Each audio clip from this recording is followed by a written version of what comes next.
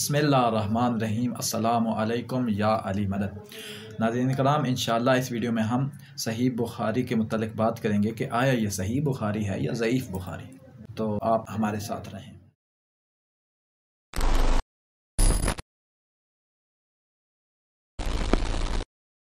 ایک دفعہ پھر السلام علیکم ناظرین۔ ناظرین کرام، جیسا کہ آپ کو پتہ ہے کہ ہمارے اس چینل جو الحق کا مقصد ان شکوک و شبہات اور اعتراضات کا علمی اور تحقیقی جواب دینا ہے، جو مذہب اہل بیت پر کیے جاتے ہیں، تاکہ ان شکوک و شبہات کا ازالہ ہو سکے۔ تو ناظرین کرام، جیسا کہ آپ کو بتایا ہے کہ اس ویڈیو میں جو ہے وہ صحیح بخاری کے متعلق جو ہے وہ کوئی تھوڑی سی بات کی جائے گی کہ یہ کتاب جو ہے وہ اس میں روایات کس قسم کی ہیں اور اس کے راوی کس قسم کے ہیں۔ ناظرین کرام، بتانا یہ ضروری سمجھتا ہوں کہ ہمارے ایک دوست نے ہمیں جو ہے وہ ایک میسج کیا کسی بھائی نے کہ آپ جو ہے وہ صحیح بخاری پہ جو ہے وہ تھوڑی گفتگو کریں کہ اس میں روایات بھی کافی سارے ضعیف ہیں لیکن پھر بھی اسے صحیح کہا جاتا ہے۔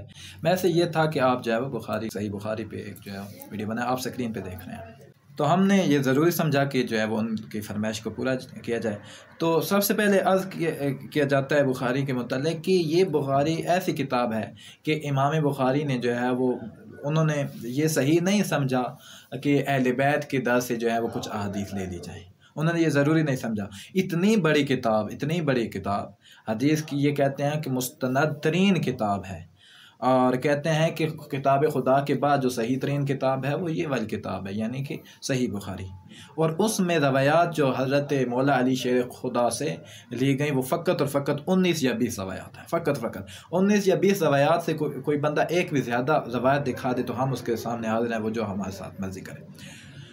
تو فقط اور فقط انیس یا بیس روایات اس شخص سے لی گئیں کہ جو دعوت ذوالعشیرہ سے لے کر رسول خدا کی تجہیز و تکفین تک ان کے ساتھ تھا۔ اچھا ایک، ان سے تو چلیں، انیس یا بیس روایات نہیں۔ ان کی پیاری بیٹی، رسول خدا کی پیاری بیٹی بی بی فاطمہ زارا سلام اللہ علیہ سے، انہوں نے فقط اور فقط امام بخاری نے جو ہے وہ ایک روایت یا دو روایت لی۔ کتنے افسوس کی بات ہے کہ جو بیٹی ہر وقت ان کے ساتھ رہتی تھی، ان کے گھر میں رہتی تھیں کیا رسول خدا گھر میں کبھی کوئی بات نہیں کرتے تھے؟ آپ نے ضروری ہی نہیں سمجھا کہ کوئی ایک جو ہے روایت جو ہے وہ اہل بیت کے در سے لے لی جائے۔ یہی تو آپ میں اور ہم میں فرق ہے۔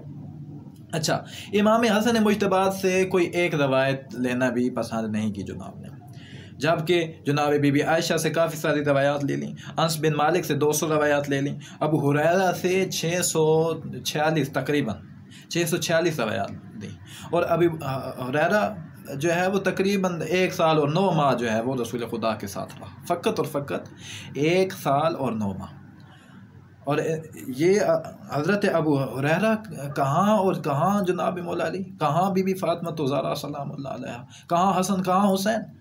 ان سے جو ہے روایات لینے کی جو ہے وہ ضرورت نہیں محسوس کی گئی اور ان حضرات سے جو ہے وہ روایات لے لی گئیں۔ اور یہ تو چلیں بات مسئلہ نہیں ہے کہ انہوں نے جو ہے وہ بعض صحابہ سے زیادہ روایات لی ہیں اور البیت سے کم لی ہیں۔ امام بخاری نے سب سے بڑا جو ظلم کیا وہ یہ ہے کہ اہل بیت کے دشمنوں سے ان لوگوں سے روایات لیں جنہوں نے جو ہے وہ اپنے دین کو جو ہے دنیا کے عوض بیچ ڈالا، جس میں سے مثلا کون سے؟ عمر بن آس مروان بن حکم۔ ابو سفیان جیسے بندے سے جو ہے وہ انہوں نے ابو سفیان جیسے بندے سے انہوں نے روایات لیں۔ اور نعمان بن بشیر، مغیرہ بن شعبہ ان حضرات سے انہوں نے جو ہے وہ روایات لیں۔ اور ظلم کی بات یہ ہے کہ انہوں نے امام بخاری نے خارجیوں کے ایک خطیب، عمران بن حتان تقریباً یہ نام ہے ہاں عمران بن حتان سے بھی روایت لی ہیں۔ یہ شاید خوارج کا خطیب تھا اور جب مولا علی علیہ السلاۃ والسلام قتل ہوئے، ابن ملجم نے جو ہے مولا علی علیہ السلام کو جب قتل کیا تو ابن ملجم کی شان میں اس نے ایک قصیدہ پڑھا۔ یہ بندہ عمران بن حتان اس نے ایک باقاعدہ قصیدہ پڑھا اس ابن ملجم کی شان میں۔ اور وہ قصیدہ جو ہے میں اس کی اردو آپ کو جو ہے وہ سنا دیتا ہوں۔ یعنی کہ اتنا وہ مولا علی علیہ السلاۃ والسلام سے حسد اور بغض رکھتا تھا۔ اور امام بخاری نے جو ہے وہ اسے روایت لی۔ ذرا دیکھیں کہ اس بندے نے عمران بن حتان نے ابن ملجم کی شان میں کون سا شعر پڑھا۔ کہتا ہے کہ کیا کہنے اس متقی کی ضربت کے جس کا مقصد رضائے الہی کے سوا اور کچھ نہ تھا۔ یعنی کہ جو اس نے ابن ملجم نے مولا علی علیہ السلاۃ والسلام کو ضرب لگائی ہے، اس کا مقصد جو ہے وہ کیا ہے؟ رضائے الہی تھا۔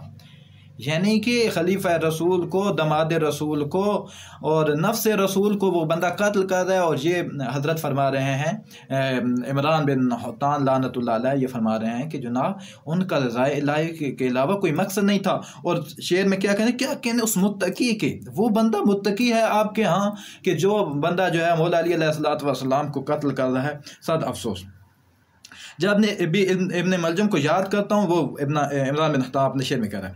جب بھی ابن ملجم کو یاد کرتا ہوں کہ خدا کے ہاں اس کی نیکیوں کا پڑا سب لوگوں سے بھاری ہوگا۔ یعنی جب بھی اس کے متعلق اسے خیال آتا ہے تو وہ یہ سمجھتا ہے کہ خدا کے ہاں جس کی نیکیاں سب سے زیادہ ہیں، وہ ابن ملجم ہے کتنے افسوس کی بات ہے کہ جناب امام بخاری صاحب، آپ سے ہمارا سوال ہے کہ آپ نے اگر اہل بیت کے در سے احادیث نہیں لینی تھی تو کم از کم ان کے دشمنوں سے تو نہ احادیث لیتے۔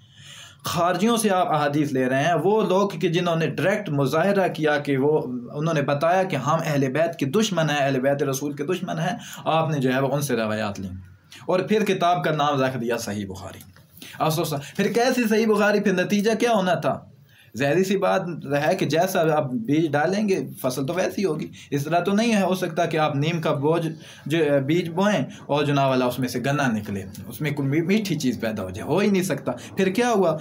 اچھا وہ آپ کو بتاتا ہوں، اس کا نتیجہ کیا ہوا؟ ایک اور ان کا ظلم دیکھیں۔ امام محمد تقی علیہ السلاۃ والسلام اور امام علی نقی علیہ السلاۃ والسلام حضرت امام بخاری کے ہم عذر تھے۔ جو ہم عصر جو ہے وہ اشخاص معصوم ہستیاں موجود ہیں اور اس وقت ان کے علم کا چرچا تھا۔ لیکن افسوس کے ساتھ کہنا پڑتا ہے، آپ کتنی جگہ پہ افسوس کریں، وہی بات ہے۔ کتنی جگہ پہ افسوس کریں کہ ان سے بھی انہوں نے جو ہم عصر لوگوں سے بھی انہوں نے روایات لینی پسند نہیں کی اور نہ ہی کوئی جو ہے جا کے مسئلہ پوچھا کہ یہ جو میں روایت لکھ رہا ہوں، کیا یہ صحیح ہے؟ جا کے تصدیق کی کروا لیتے، لیکن ضرورت نہیں سمجھی۔ اور امام جعفر صادق علیہ السلاۃ والسلام، امام محمد باقر علیہ السلاۃ والسلام سے بھی کوئی روایات نہیں لیں جن کا علم کا چرچا تھا۔ تو ان علم علم کے چشموں سے بھی سیراب ہونے کی کوشش نہیں کی گئی، اور جگہ جگہ عجیب و غریب گڑھوں سے جو ہے پانی پیتے رہے۔ تو پھر کیا ہوا؟ نتیجہ کیا نکلا؟ ذرا دیکھیے، اہل بیت سے جب دوری اختیار کی، تو جب توحید کی طرف جو ہے وہ اشارہ کیا اور جب توحید پہ تھوڑے سے لب کشائی کرنے لگے، تو ذرا دیکھیے کیا لکھتے ہیں۔ اچھا آپ دیکھیں بخاری جلد نمبر دو۔ حضرت مولانا داود راز کا ترجمہ ہے۔ صفحہ نمبر دو سو باون اور اکاون۔ روایت یہ ہے کہ جی حضرت جناب ابو حریرہ سے، جو آپ کو بتا چکا ہوں کہ ایک سال اور تقریباً نو ماہ جو ہے وہ رسول خدا کی صحبت میں رہے۔ کیا کہ جی، حضور اکرم صلی اللہ علیہ وسلم نے فرمایا، کیا فرمایا؟ ہمارا پروردگار بلند بلند اور برکت والا ہے۔ ہر رات اس وقت آسمان دنیا پہ آتا ہے، جب رات کا آخری تہائی حصہ رہ جاتا ہے۔ آسمان دنیا پہ ان کا خدا تشریف لے آتا ہے۔ جو اس آسمان سے اس آسمان پہ آ جائے، آسمان سے زمین پہ پہنچ جائے، زمین سے کہیں اور پھرتا رہے، یہ وہی ہستی کر سکتی ہے کہ جو جسم رکھتی ہو۔ ادھر سے ادھر جانا جو ہے، وہ جو بھی چیز جاتی ہے، وہ جسم کی محتاج ہوتی ہے۔ اگر جسم ہوگا تو وہ ادھر ادھر جائے گی۔ بغیر جسم کی چیز۔ تو اس روایت سے ثابت ہو رہا ہے کہ اللہ جسم رکھتا ہے۔ تو ہمارا تو یہ عقیدہ نہیں ہے، مسلمانوں کا یہ عقیدہ نہیں ہے کہ اللہ کا جسم ہے۔ وہ جسم رکھتا ہے تو آسمان پہ آتا ہے نا۔ یعنی کہ اللہ اب جو ہے دعائیں سننے کے لیے آسمان اس آسمان پہ آئے گا تو دعائیں سنیں گا۔ یعنی یہ حشر ہوا جب جو اہل بیت کا در چھوڑا گیا۔ ایک اور روایت ذرا سنیے، بڑی مزے کی روایت۔ بخاری شریف ہے، یہی والی بخاری شریف۔ جیل نمبر اس کی آٹھ ہے اور ترجمہ وہی مولانا محمد داؤد راز کا۔ صفحہ نمبر جو ہے وہ نائنٹی تھری۔ انس بن والے کی روایت ہے۔ کیا کہ نبی نے فرمایا، کیا فرمایا؟ جہنم برابر کہتی رہے گی کہ کیا کچھ اور ہے؟ یہ وہ تھوڑا سا ایک بڑا مزے کا واقعہ بیان کرتے ہیں کہ قیامت والے دن جو ہے وہ جہنم چیخے گی کہ میرے پیٹ بڑا وسیع ہے تو اس میں کوئی چیزیں ڈالو تاکہ یہ پیٹ بھر جائے۔ اچھا اسی طرح اشارہ ہے اچھا کیا کہے گی؟ کہتی رہے گی کہ کیا کچھ اور ہے؟ کیا کچھ اور ہے؟ آخر اللہ اس اس میں اپنے قدم کو رکھ دے گا۔ یعنی جہنم میں جو ہے وہ اللہ اپنے قدم کو رکھ دے گا۔ تب جو ہے جہنم جو ہے بھر بھر جائے گی۔ یہ حشر تب ہی ہوا کہ جب اہل بیت کا جو ہے در چھوڑا گیا۔ آپ نے اللہ کے قدم کو جو ہے جہنم میں پہنچا دیا۔ ہم سارے جتنے اعمال کرتے ہیں، نمازیں پڑھتے ہیں، روزے رکھتے ہیں جو ہے وہ خمس دیتے ہیں آپ تو خیر نہیں دیتے۔ زکوٰۃ دیتے ہیں، وغیرہ وغیرہ جتنے بھی سارے اعمال حسنہ ہم بجا لیتے ہیں تو فقط فقط اس لیے کہ ہمیں جو ہے ہم جنت میں پہنچائیں۔ اور جنت دینی کس نے ہے؟ اللہ نے دینی ہے۔ تو اللہ تو خود جاننا میں پہنچ گیا، بقول آپ کے۔ تو یہ کتنی بڑی گستاخی ہے، یہ آپ کی کتاب میں لکھا ہوا ہے، آپ نے نہیں لکھا۔ آپ کی کتاب میں حضرت انس سے جو ہے وہ یہ روایت لی گئی ہے۔ اگر یہ والی روایت، اگر اس اس نظریے کے متعلق پوچھا جاتا جناب امام جعفر صادق سے، رہنمائی تو تب ہوتی کہ جن کے گھر میں دین آیا ہے۔ آپ مولا علی سے پوچھتے، آپ بی بی سیدہ فاطمہ تو زہرا سے جا کے پوچھتے۔ آپ حسن حسین سے پوچھتے کہ جو جوانان جنت کے سردار ہیں۔ خیر، جنت کے جو سردار ہیں وہ امام حسن اور امام حسین علیہ السلام السلام ہم نے اس پہ ایک ویڈیو بنائی ہے۔ لنک بھی جو ہے وہ ہم دے دیں گے، دیکھیے گا۔ جنت کے سردار امام حسن، امام حسین۔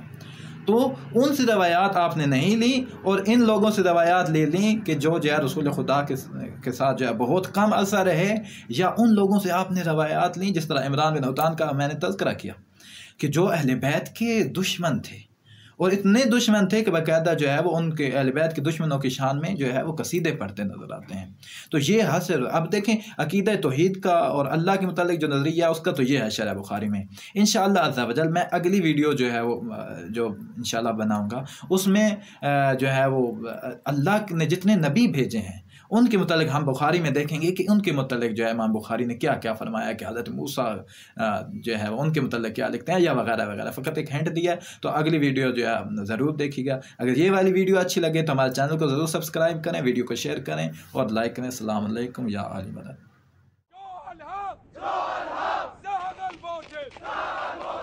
الموت لكون زوغا إن الموت لكون زوغا الباطل کان زعوق ان الباطل کان زعوق